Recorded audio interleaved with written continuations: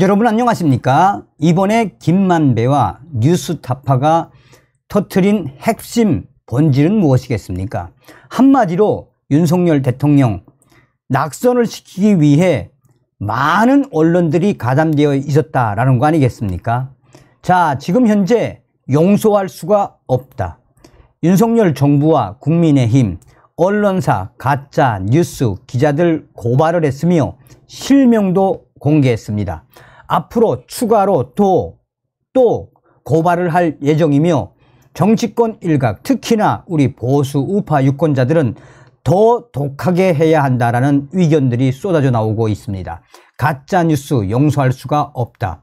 확 달라진 정부 여당, 뉴스 타파, MBC, KBS, JTBC 기자들 고소, 국민의힘 허위사실에 의한 명예훼손 혐의로 고발, 가짜뉴스 받아쓴 언론 매체 등도 법적 조치, 네이버도 가짜뉴스 확산 방, 방조 공범, 공범, 실명 공개에 추가로 또 고소, 국민의힘 미디어 정책 조정 특별위원회와 가짜뉴스 괴담 방지 특별위원회는 대장동 허위 인터뷰 위협 관련 화천대유 대주주 김만배 씨와 신학림 전 언론노조 위원장 해당 내용을 보도한 언론사 기자들을 명예훼손 혐의로 경찰에 고발한다라고 밝혔습니다.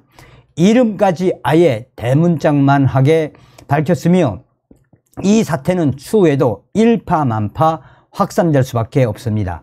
대상은 김만배 씨와 신학림 전 위원장 외에 뉴스타파, KBS, MBC 소속 기자 7명 등 총 9명이며 형법과 정보통신망 법상 허위 사실에 의한 명예훼손 혐의로 경, 서울경찰청에 고발하기로 했다라고 국민의힘은 밝혔습니다.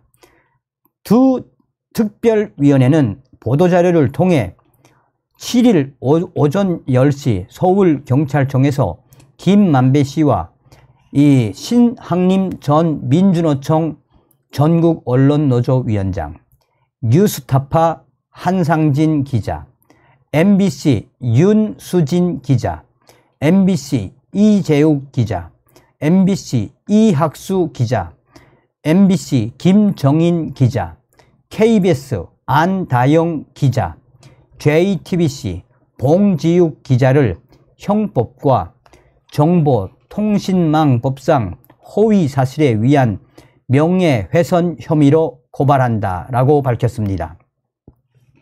두 특별위원회는 이번 고발이 현재 부정 청탁 및 금품 등 수수의 금지에 관한 법률 김영란법 위반으로 수사받고 있는 김만배와 신학님이 허위 인터뷰를 녹음하여 이를 유포하기로 공모했다는 검찰 조사 결과에 따른 조치라고 설명을 했습니다.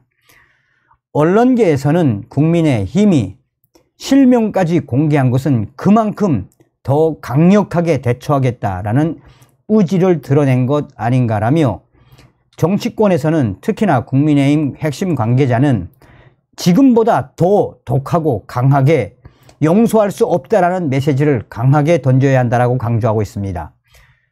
두 특별위원회에 따르면 김만배와 신학님은 2022년 3월 6일 허위 인터뷰 녹음 내용을 한상진 뉴스타파 기자에게 제보를 하여 3월 6일 밤 9시 40분경 김만배 음성 파일 박영수 윤석열 통해 부산저축은행 사건 해결이라는 제목으로 허위 인터뷰 내용을 보도했습니다.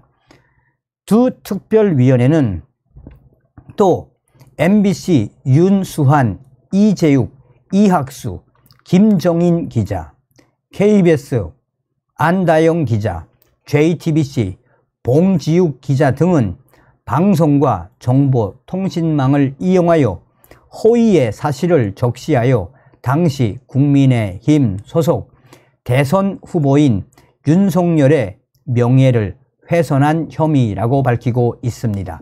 특히 JTBC 봉지욱 기자는 이후 뉴스 타파로 이직했다는 점에서 대선 당시 JTBC와 뉴스타파의 정치 공작 협업에 대한 조사도 필요하다라고 국민의힘은 밝히고 있습니다.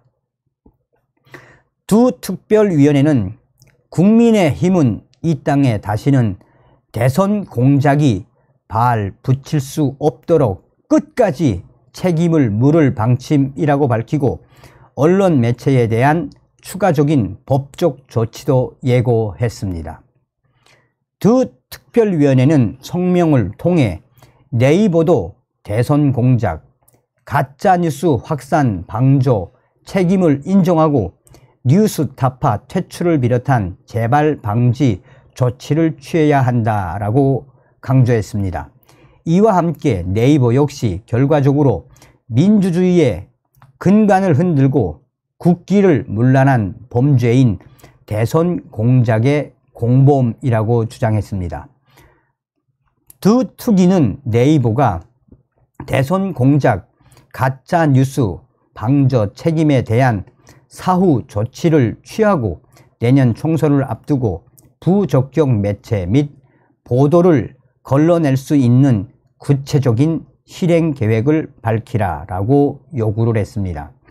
윤석열 정부의 대통령실도 연일 대선 공작에 가담한 이 현재의 이 방송국과 언론사들을 연일 질타, 하고 있으며 윤석열 정부의 핵심 관계자들도 이 사태는 그냥 넘어갈 수 없는 문제라고 이 강하게 비판을 하고 있습니다. 또한 이동관 방송통신위원장도 이것은 마로 이것은 그야말로 이 특대형 범죄이며 국기문란 범죄, 범죄로 이 단단한 조치 그러니까 제대로 된 이 조치를 취하겠다라고 이동관 방송통신위원장은 강, 강조하고 있습니다. 이에 대해 국민의힘 핵심 관계자는 윤석열 정부와 국민의 힘이 지금보다도 더 강력하게 가짜 뉴스를 유포한 언론사를 박살내야 한다라는 기조를 더 확산시켜야 한다라고 밝히고 있습니다. 자, 사실상 뒤돌아보면 전과 사범 이재명이가 대한민국의 대통령이 됐으면 어떻게 될 뻔했습니까? 그러니 윤석열 정부와 국민의힘 이 언론들이 강조하는 것처럼 지금보다도 더 강력하게 몰아붙여야 합니다. 다음 시간에 뵙겠습니다. 멸공.